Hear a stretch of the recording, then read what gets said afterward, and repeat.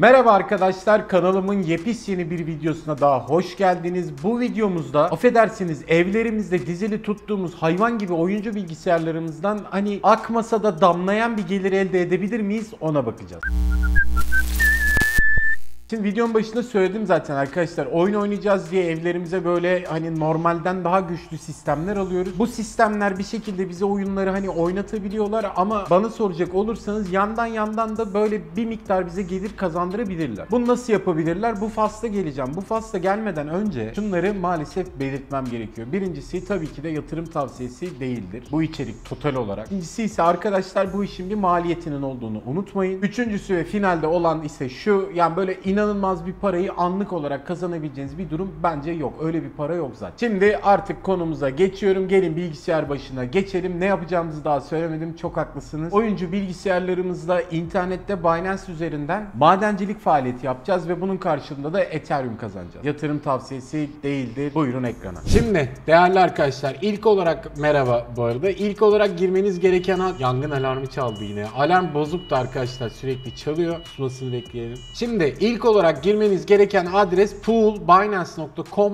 slash tr adresi arkadaşlar. Hani Türkçe, İngilizceniz yetersiz kalabilir. Yani Türkçe URL'ye girmeniz daha iyi olur İngilizceniz yetersiz kalıyorsa. Buradan hani bu URL'ye girdiğiniz zaman karşınıza böyle bir sayfa çıkıyor. Daha sonra burada hali hazırda olan Binance hesabınıza bir adet hesap oluşturuyorsunuz. Hesap listesinden artıya tıklıyorsunuz. Çok basit olduğu için şey yapmayacağım. Hani böyle madencilik hesabının adını yazıyorsunuz. Test diyelim, Ahmet diyelim, Mehmet diyelim ne derseniz deyin. Burada da arkadaşlar ETH hash'i seçiyoruz. Yani ETH seçiyoruz çünkü biz Ethereum kazacağız. Açıklama kısmını boş bırakabilirsiniz. Buradan oluştur dediğiniz durumda artık sizin Binance hesabınıza bağlı yeni bir Homes hesabınız oluşuyor. O da şöyle arkadaşlar bunu oluşturduğunuz zaman süreç bitmiyor. Tabii ki de girdiğiniz zaman şuradan ETH seçmeyi unutmayın. Bu arada default olarak SHA 256 geliyor olabilir. ETH'i seçiyoruz şuradan. Burada şimdi arkadaşlar şöyle bir şey devreye giriyor. Hangi programla kazacaksınız? Benim kullandığım program Phonex Miner. Onu da şöyle yazayım. Evet 5.6D sürümü çıkmış. Bendeki sürüm 5.6B arkadaşlar. Hani şöyle bir kural vardır çalışıyorsa elleme diye. O çalıştığı için ellemiyorum ben şu anda. Gayet normalde haşının sonuna kadar basıyor. Buradan download ediyorsunuz. Tabii ki de bunu download ettiğinizde Chrome sizi uyarıyor. Bunu indiremezsin. Bunun içinde zararlı yazılım var diye. Bu konuyla ilgili herhangi bir şey söylemeyeceğim. Bu riskler tabii ki de güncel ama madencilik dünyasına hoş geldiniz diyorum. O zararlı yazılım faslına okey demeniz gerekiyor. Bilgisayar üzerinden gelir kazanmak için. Ha bunun bir zararı var mı yok mu? Onu yani şu şu andan söylemek çok zor. Ama bu program globalde de çok fazla tercih edilen bir program. Ben de kullanıyorum. Herhangi bir sıkıntıyı yaşamadım. Bilgisayarımda maden yapılma gibi bir durumla da karşılaşmadım. Benim iradem dışında. Ha bu arada Binance'in kendi önerdiği programlar da var. Onu da açtım. Burada indirdim. Yani nasıl yapabileceğiniz gayet basit bir şekilde anlatılıyor.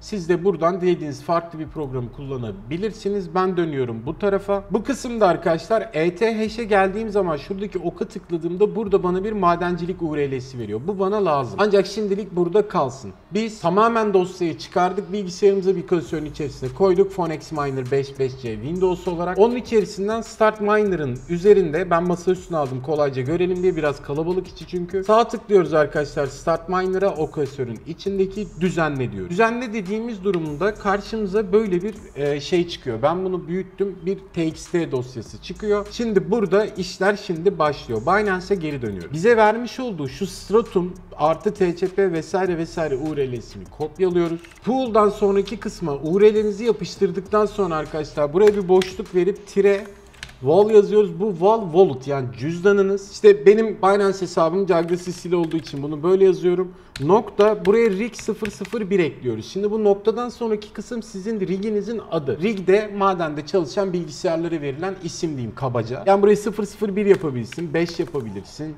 00 19 yapabilirsin. İşte kaç tane rigin varsa fark etmez. Daha sonra arkadaşlar bu dosyayı kaydediyor. Kaydet diyoruz. Bundan çıkıyoruz. Siz buradan Start Miner'a çift tıkladığınız anda artık bilgisayarınız sizin de madenci ailesine katılmış oluyor. Benim bilgisayarımda 3090 var. Şu anda haşı biraz düşük gösterecek. Haş da sizin toplamda havuza yaptığınız güç katkısı arkadaşlar. Hani 60'larda çıkacaktır diye tahmin ediyorum çünkü bir yandan ekran kaydı yapılıyor. Normalde 110-120 haş arası bir şey alıyorum. Ne kadar para kazanırsınız onu da şöyle hesaplıyorsunuz arkadaşlar. Böyle battumine.com'a gidelim. Benim kartım 3090. Burada gördüğünüz gibi şöyle büyüteyim de görürsün.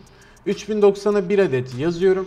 Normalde bunların hepsi basılı geliyor böyle. Bunların hepsini kapatın arkadaşlar. ETH'da 320 Watt'ta 114 mAh basarsın diyor. Yani 115-120 arası basıyor zaten. Buradaki şu koz kısmını arkadaşlar normalde bu 0.1 gelir. Sizin hani güncel fiyatta tam bunun karşılığını bilmiyorum ama 17 yapacağım. Ben bunu daha sonra bunu calculate dediğinizde sistem size mevcut elinizdeki ekran kartına göre ne kadar elinize para kalacağını söylüyor. Mesela burada 6.56 kalır diyor. Şey elektrik maliyetinin oradan çıkınca. Diyelim ki burada ekran kartı modelleri var. 2080 Ti'niz var. Onu seçersiniz. Bir tane ona eklersiniz. O da 55H basıyor. Elektriğimiz 0.17'de hala. Calculate dediğimde o da size günlük 3 dolar gibi bir para bırakıyor. Zaten içeriğin başında söylemiştim. Hani akmasa da hani böyle aman Allah'ım demese de oradan size bir gelir damlayacaktır. Bir de arkadaşlar bu madencilik meselesi de ben şöyle bakıyorum. Sizi de ona davet ediyorum. Tabii ki de bu işin bir elektrik masrafı var. Onu bir şekilde buradan kazanılan parayla karşılamak gerekiyor. Ama onun haricinde kazılan Ethereum'ları hani 0.0000001 bile olsa hani bence harcamak yerine biraz biriktirmeyi tercih ederseniz yatırım tavsiyesi olmamakla birlikte